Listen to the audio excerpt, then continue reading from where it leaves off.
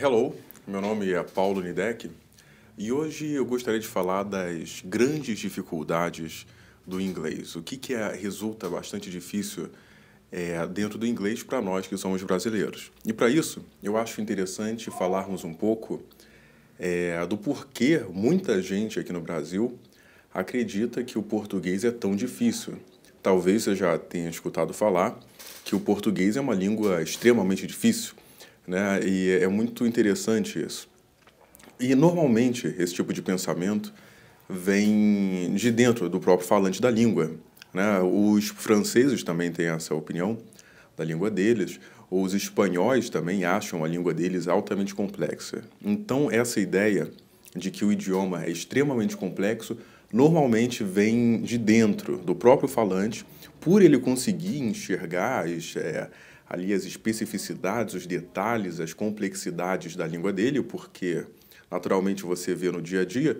Então, muita gente vai pegar alguns exemplos, como falar ah, manga, manga de camiseta ou manga de comer, ou vai falar que em português é muito difícil a distinção entre isso e aquilo e que, portanto, o português é muito difícil.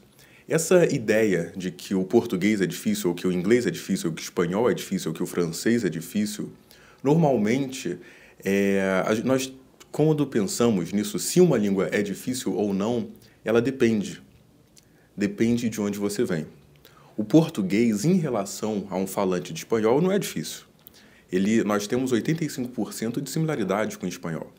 Então, para uma pessoa que é argentino, ou chileno, ou uruguaio, ou paraguaio, ou mesmo espanhol, etc., para aprender português não é tão difícil assim.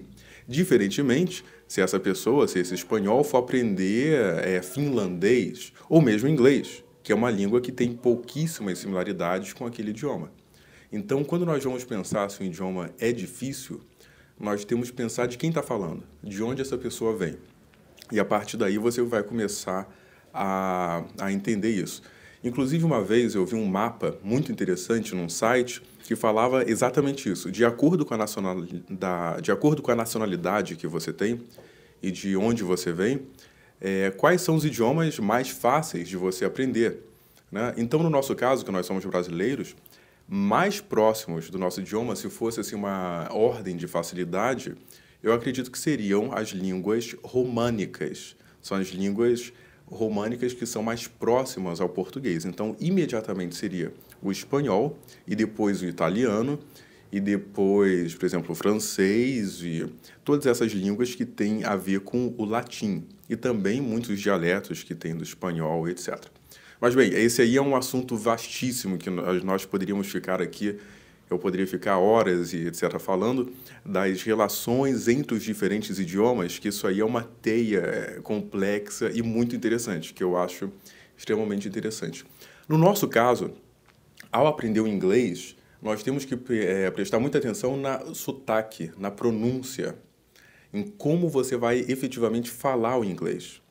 A pronúncia do inglês é algo que é muito difícil para nós brasileiros. E é muito difícil geral né, num termo geral. A aquisição da correta pronúncia do inglês é algo que deve ser feito com cuidado. Você deve praticar muita pronúncia. É importante é, lembrar que nós aprendemos através de repetição. Então, para aprender corretamente a falar o inglês, eu costumo falar que é um exercício muscular, é uma ideia de músculo mesmo. Né? As cordas vocais, a língua, etc. E para você falar corretamente inglês, exige prática, prática, prática, você falar e você efetivamente praticar. E tem uma coisa também, é você se sentir confortável com a voz que você tem em inglês e com o sotaque que você tem em inglês. Se na sua cabeça você acha que você tem um sotaque, uma pronúncia do inglês sofrível, você não vai ficar muito confortável quando falar com outras pessoas. Então é importante achar também a sua própria voz em inglês. É importante você se sentir confortável com aquilo que você fala. E aí, naturalmente, não somente em inglês, mas também em português. Se você se sente desconfortável com a sua voz, com a maneira com que você fala, com as expressões, com as palavras, se você se sente inadequado, você não vai falar corretamente idioma nenhum. Então, recentemente, eu ouvi o caso de uma aluna que ela estava muito sem expressão ao falar. Ela não entonava as perguntas corretamente, nem exclamava corretamente. A leitura dela era extremamente monótona e a leitura era extremamente monótona, toda uma linguagem sem graça. Né? Você não tem muita expressão quando você vai se expressar no outro idioma. Então é interessante você ajustar tudo isso, porque a própria eloquência, a boa maneira de falar, é importante no inglês. Não adianta você falar tudo corretamente e gramaticalmente corretamente se o seu discurso é, é vazio, se o seu discurso é desinteressante, soa mal para uma pessoa. E aí é interessante também lembrar uma outra distinção que eu sempre falo, que é a linguagem exemplar e a linguagem correta. Talvez o seu discurso, a sua maneira de falar inglês esteja muito correta, ou mesmo em português. Normalmente eu costumo falar que o aluno, quando ele aprende o inglês, ele aprende a pensar melhor em português, ele começa a refletir sobre o português e melhora até o português dele. Né? A comunicação como um todo, quando você vai estudar um outro idioma, tende a melhorar, porque você tem que refletir mais. Você vai ter que pensar em inglês. O que é um verbo? O que é um pronome? O que que, como é que eu encaixo isso dessa maneira aqui? Então, o seu português naturalmente melhora também, porque faz tempo que você não pensa nisso, talvez desde a época escolar, e você não tem esse foco no seu discurso. E quando você estuda inglês, você tem que ter um foco no seu discurso, você tem que ter um foco no seu vocabulário, um foco no seu registro, né? Que registro é importante lembrar se a coisa é formal ou informal, se o seu discurso está dentro de uma certa formalidade, se a forma do seu discurso está correta. Então, pensando em todos esses elementos e todas essas maneiras, normalmente o seu português melhora muitíssimo. Então, é importante prestar atenção em todos esses aspectos em inglês.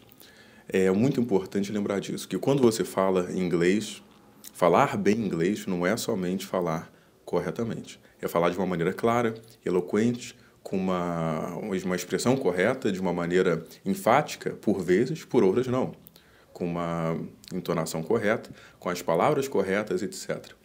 É muito interessante o estudo, sobretudo no caso do inglês, e se você já estudou inglês, você sabe essa parte dos modal verbs, que são os verbos modais, e ali você estuda as diferenças entre can, could, would, may, etc.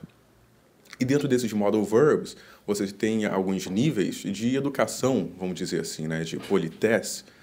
E supostamente o could seria mais educado de falar do que o can, ou o may seria bastante educado de falar.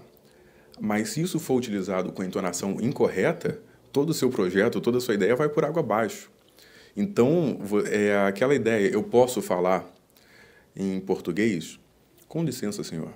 Você poderia você poderia me dar um copo d'água? Mas se eu falar isso com a entonação correta, vai soar muito mal. Se eu falar, senhor, com licença, se eu poderia me dar um copo d'água? Vai soar ríspido, vai soar mal. E talvez se eu mudar mesmo as palavras e as palavras não forem tão educadas, mas a entonação correta, isso soaria melhor. Eu falo, amigo, você tem um copo d'água? Isso já soa melhor do que, por favor, senhor, você tem um copo d'água? Então, a entonação, às vezes você pode utilizar as palavras corretas, mas uma entonação incorreta, e vice-versa. Né? Não adianta. Aliás, isso até vai um pouco para o lado da ironia, se você pensar um pouco. É, quando eu sou é, quando eu utilizo as palavras extremamente de uma maneira extremamente educada, mas a minha entonação não corresponde com aquilo. Então eu posso falar assim, amigo, por favor, será que você poderia, por gentileza, tirar o prato daqui que eu já falei com o garçom e não é a primeira vez? Então estou lhe pedindo encarecidamente se você pode sair daqui e eu quero falar com o gerente. Por obséquio, você chame o gerente que eu preciso falar com ele. Se não for muito incômodo, é claro. Então, esse é um tipo de entonação de, que vai totalmente para o lado da ironia. Mas as palavras estão corretas. Se eu mudar a entonação, eu vou ter uma mensagem completamente diferente e vai ser recebido de uma maneira, é, de uma maneira distinta pelo interlocutor. Então, é importante lembrar disso, que falar corretamente inglês ou falar bem qualquer outro idioma não é somente você utilizar as, a gramática e as palavras corretas, mas também a maneira, a entonação, o mesmo gestual, né? Alguns gestuais de língua para língua mudam. Então, se você quiser falar muito bem um determinado idioma, você tem que pensar em tudo isso de uma maneira mais global e uma maneira mais inteira, porque afinal de contas o discurso, a, a fala humana, ela é muito global. Ela abrange a comunicação humana, ela abrange uma série de coisas que não são somente palavras, gramática e vocabulário. Então vamos pensar além quando estudar inglês ou qualquer outro idioma. Bem, é, esse foi o nosso vídeo. Se você curtiu, se você gostou, você curta, você compartilhe. E muito obrigado por assistir e até a próxima.